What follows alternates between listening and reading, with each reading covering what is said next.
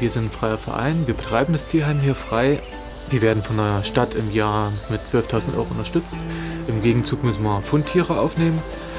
Wir finanzieren uns zum Teil eben halt auch über die Sommerfeste, Herbstfest, über jetzt hier Frühlingsmarkt in Binzen.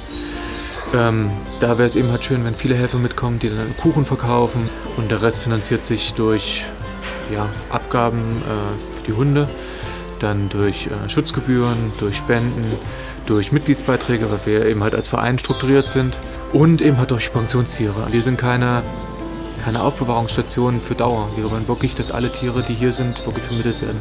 Auch die komplizierteren Fälle. Wir bemühen uns, die Hunde äh, in Gruppen zu halten. Das ist für die, für die Hunde besser. Sie sind ausgeglichener, sie sind ausgewogener. Zu den Kleintieren muss man sagen, also der größte Fehler ist immer noch, dass die Fläche zu klein ist. Es sind Lauftiere, also die leben in freier Wildbahn draußen auf einer großen Fläche.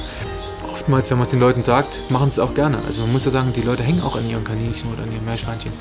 Bei den Katzen sieht es anders aus. Da können wir eben halt präventiv tätig werden, indem wir die Katzen kastrieren. Das machen wir auch sehr, sehr gerne.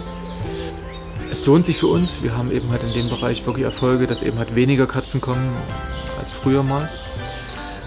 Wenn sich jemand für ein Tier interessiert, ähm, wir sind auf allen möglichen Wegen erreichbar. Per Telefon, per E-Mail. Am besten ist allerdings, wenn man vorbeikommt, wenn man kurz äh, vorher sich das Tier anguckt und dann eigentlich findet man immer das richtige Tier für den richtigen Menschen.